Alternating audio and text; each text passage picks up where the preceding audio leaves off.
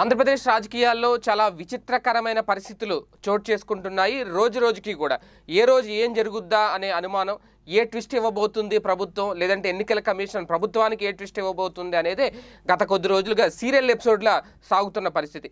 ఈ నేపథ్యంలోనే మరొక అంశం తెర మీదకి వస్తుంది. సోషల్ మీడియాలో బాగా వైరల్ అవుతోంది. నిమ్మగడ్డ రమేష్ కుమార్ గారు మార్చి ముప్పై ఒకటో తేదీకి ఆయన రిటైర్మెంట్ అయిపోద్ది. ఆయన ఆ పదవి నుంచి వైదొలిగిన తర్వాత ఏప్రిల్లో కానీ మేలో కానీ అనుకున్నట్టుగా కొత్త కమిషనర్తో స్థానిక సంస్థల ఎన్నికలకి బరిలోకి దిగేందుకు సిద్ధమవుతోంది.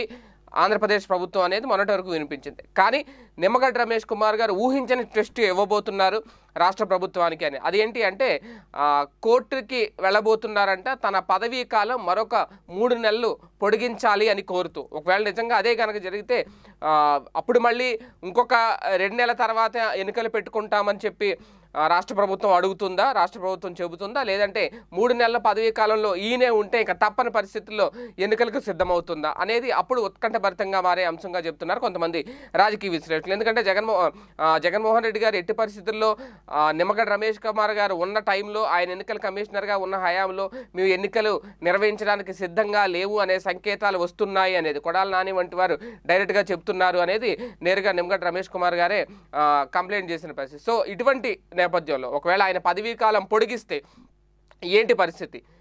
వైసీపీ ఖచ్చితంగా ఆ అధికారంలో ఉన్న వైసీపీ ఎన్నికలకు సిద్ధమవుతుందా? వేరే దారి లేక? లేదంటే వైసీపీ కూడా మరో మూడు నెలల పాటు మేము ఎన్నికలు నిర్వహించలేమని చెబుతుందా? అంటే వ్యక్తిగతంగానే వ్యక్తిగత కారణాలతోటే ఎన్నికల వాయిదా వేస్తున్నారని చెప్పి అప్పుడు ఒప్పుకోవాల్సి వస్తుంది. ఎందుకంటే మరో మూడు నెలలు పొడిగిస్తే అప్పుడు వ్యాక్సినేషన్ కూడా అయిపోతే కనుక ఖచ్చితంగా ఎన్నికలకు సిద్ధం కావాలి. అప్పుడు ఇంకా వేరే కొత్త వంక చెప్పడానికి ఏమీ ఉండదు అనే ఆలోచన కూడా నిమ్మగడ్డ చేస్తున్నారంటే. మరి ఈ పంతాలు పట్టింపులు ఒకరికొకరు ఎవరికి వాళ్ళు పంతాలతో ముందుకు వెళ్తూ ఎవరిది పై చేయి అవుతుంది? నిజంగా నిమ్మగడ్డ రమేష్ కుమార్ గారి పదవీ కాలం మరో మూడు నెలలు పొడిగించే అవకాశం ఉంటుందా? ఎందుకంటే మొన్న సిఎస్ పదవీ కాలం కూడా పొడిగించుకున్న నేపథ్యంలో ఇప్పుడు కేంద్రంతో మాట్లాడో లేదంటే కోర్టుకు వెళ్ళి ఆయన పదవి కాలం పొడిగించుకుంటే తర్వాత ఏం జరుగుద్ది అనేది నిజంగా ఆసక్తికర అంశంగానే ఉంటుంది అంటున్నారు రాజకీయ విశ్లేషకులు.